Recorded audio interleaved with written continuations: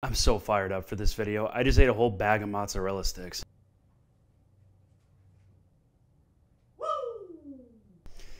All right, let's cut the crap. It's a bad day to be a movie theater. Today we have to dig into a pretty sad question. Are movie theaters finally dying? Because a recent study found that two thirds of people would rather wait for a movie to come out on streaming than to go see it in theaters. That's a lot of people. Some of the reasons include having to take bathroom breaks during the movie, inconvenient theater locations and showtimes, but the most common complaint was distractions from other viewers. These are some of the many factors contributing to the trend of theaters shuttering across the US. Maybe it's not all that surprising because going to the theater these days can be very expensive. And why go to the theater when you're already paying for all these expensive streaming services to begin with? Look, I get it. You never know who you're going to be sitting next to at a theater. You could get someone really disruptive. Last winter, I went to go see Killers of the Flower Moon, and there was an old man sitting behind me who needed every single character explained to him. And it's like a three hour movie. There'd be like dramatic, silent tension building in a scene, and he would go, Wait, who is that? That's Lily Gladstone, dude. She's like a main character. And I get it. Why would you want to leave your cozy sofa to go out and sit with a bunch of people that might be talking during the movie, chewing their popcorn loudly? You might even be sat next to this guy who fell asleep while cranking his hog during Kristen Stewart's Love Lies Bleeding last weekend.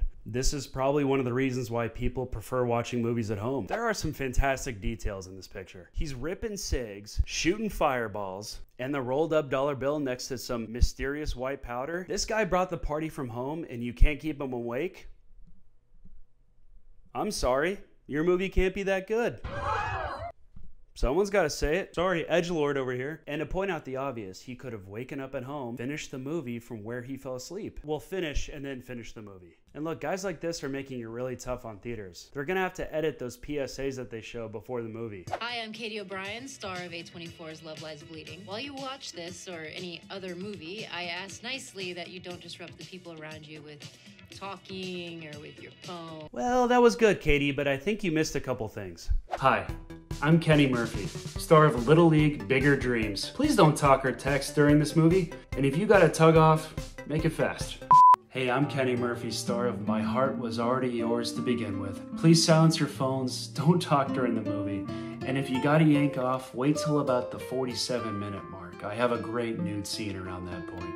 Oh no, my fiance's coming home. Everyone say bye, Sophie.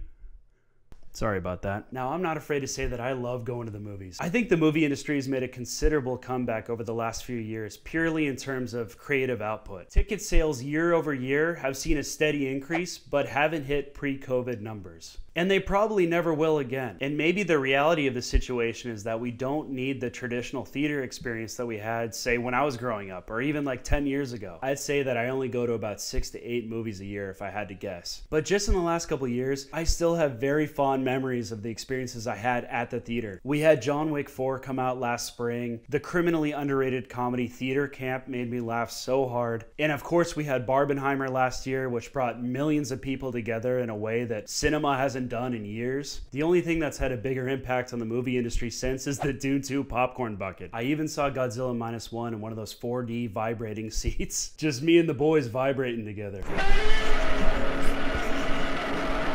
My point is, it feels like movies have that energy that only Nicole Kidman can capture. But the slip in ticket sales aren't a secret to the theaters either. Here's a tweet from AMC CEO Adam Aron acknowledging that ticket sales just aren't what they used to be. So painful. Four years after COVID, the industry wide box office is still ludicrously anemic, and AMC stock has slid to $4.48. Difficult to think about anything other than guiding AMC back in these challenging times. But greatness deserves praise. Sixers Joel Embiid, 70 points.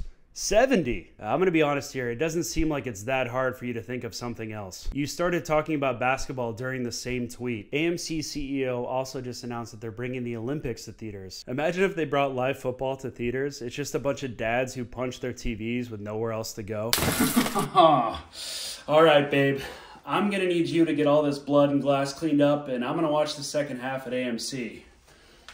I haven't seen Madame Web, but when I saw TikToks of entire crowds laughing together collectively at this awful movie, I remembered just how valuable movie theaters are. There's something unbeatable about being surrounded by mostly strangers sharing that unique experience. Where do you weigh in on this? Do you like going to the theater? Do you prefer just watching at home? Let me know and please subscribe. That would mean a lot to me. And I'll be back soon with new vids. See you next time.